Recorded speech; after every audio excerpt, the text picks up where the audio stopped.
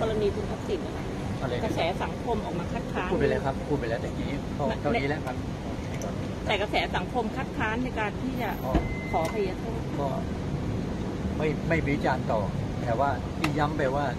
ทุกคนต้องอยู่ภายใต้กฎหมายเท่าเทียมกันบ้านเมือง